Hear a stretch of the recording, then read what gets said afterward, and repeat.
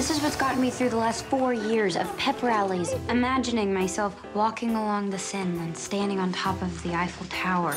Do you mind if we order? Grace, go with Meg and Emma. Have a great trip. Paris. Nobody pinch me. The Junior Ambassador Suite offers luxury accommodations. I single-handedly chose the worst tour in all of Paris. They're leaving! She's here. This is crazy. It's me, Cordelia. Mother's forcing me to go to some charity thing.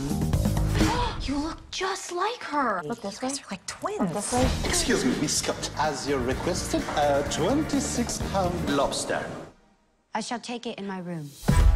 First class. We are way out of our league. This was never part of the plan. I'm out. Real Cordelia gets to play hooky for a few days, and we all get the vacation that we deserve. Cordelia! Your car's waiting. Thank you. We are going to Monte Carlo. We'll get caught. Then you'll get to say I told you so. Jet Set Maris, Cordelia Winthrop Scott. Oh, What? Cordelia, you are a bad girl. What'd I do? What didn't you do?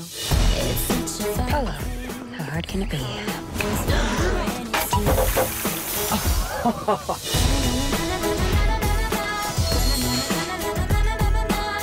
Try on the Dior. You look like a million bucks. Oh, Cordelia! There's something different about you. Different? I am admiring the boots. She totally bought it. Who says, who says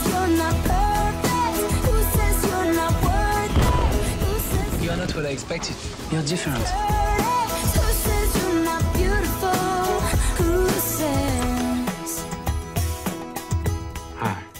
Hi. I finally meet a guy who likes me for me. And I'm not even me. Cordelia, wait! Monte Carlo. What's she doing here? Wow. You can see everything from up here. Who